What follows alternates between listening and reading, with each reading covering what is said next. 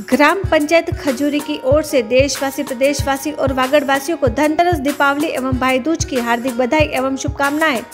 निम्न योजनाओं का लेवे लाभ मन नरेगा योजना, वृक्षारोपण प्रधानमंत्री आवास योजना, राज्य वित्त आयोग स्वस्थ भारत मिशन, पंद्रवा वित्त आयोग।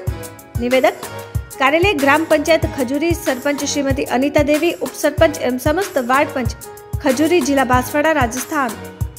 ग्राम पंचायत कालाखेत की ओर से देशवासी, प्रदेशवासी और वागड़वासियों को धनतेरस, दीपावली एवं भाई दूज की हार्दिक बधाई एवं शुभकामनाएँ।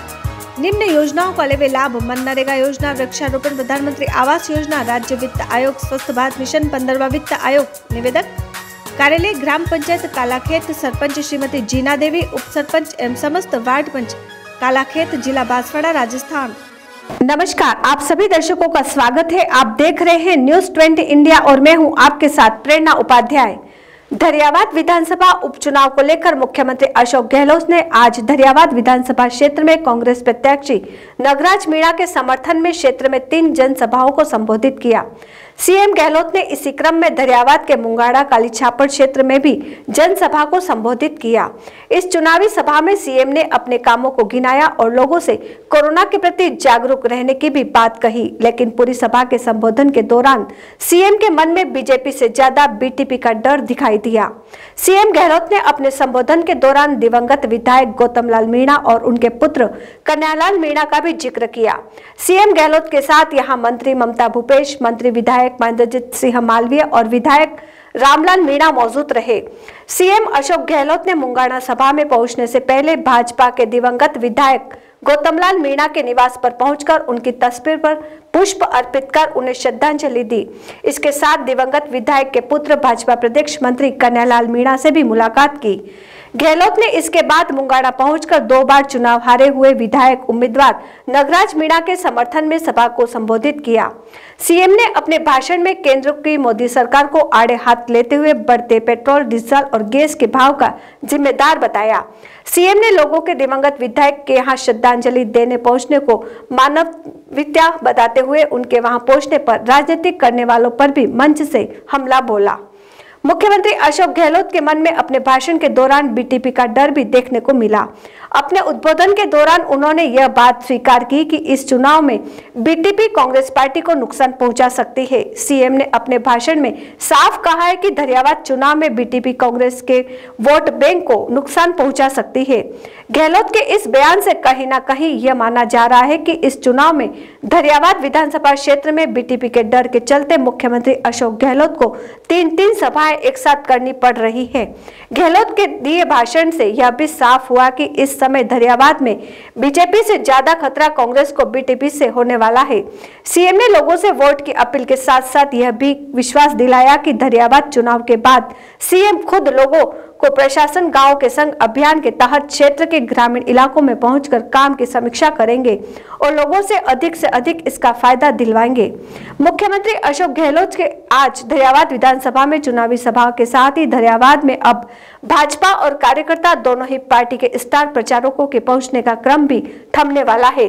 भाजपा के डॉक्टर किरोड़ीमल मीणा को सभा के बाद आज सीएम गहलोत के सभा का इस उप चुनाव में क्या असर होने वाला है? यह तो 30 तारीख को होने वाले मतदान के बाद ही साफ़ नज़र हो पाएगा। फ़िलहाल इस चुनाव में दोनों ही पार्टियों के दिग्गजों के साथ ज़रूर दाव पर लगी हुई है। ये परंपरा बहुत हज़ारों साल चली आ रही है कि कोई भर्ती हो जाती है, ज़मीन के अंदर बैठने जाते हैं हम लोग। उस वक्त नहीं देखते कांग्रेस का, बीजेपी का कौन पार्टी का, नहीं देखते। किस जाति बिरादरी का नहीं देखते हैं।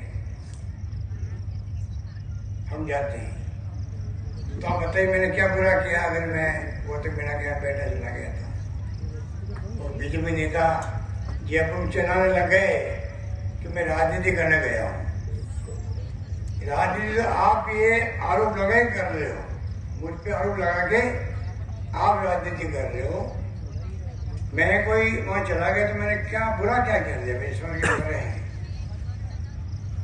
और अगर मैं तो बीजेपी अगर उनके लड़के को देती टिकट, कन्हैया को, कन्हैया कुमार को, कन्हैया? को टिकट देती, और ये अगर हमारा उम्मीदवार खड़ा रहता नगराज मीणा, और आज मैं लचाड़िया में होता सामने कन्यालाल होता, उम्मीदवार बीजेपी का तो मैं उसके घर जाता।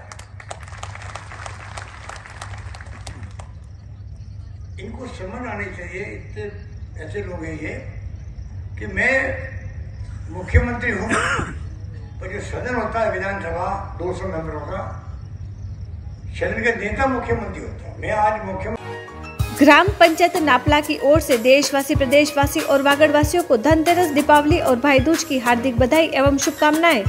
निम्न योजनाओं का लेवे लाभ मनरेगा योजना, वृक्षारोपण, प्रधानमंत्री आवास योजना, राज्य वित्त आयोग स्वस्थ भारत मिशन पंद्रहवा वित्त आयोग। निवेदक कार्यालय, ग्राम पंचायत, नापला, सरपंच श्रीमती गबरा देवी, उप सरपंच एवं समस्त वार्ड पंच, नापला, जिला बांसवाड़ा। ग्राम पंचायत वाघ तालाब की ओर से देशवासी, प्रदेशवासी और वागड़वासियों को धनतेरस, दीपावली और भाई दूज की हार्दिक बधाई एवं शुभकामनाएँ।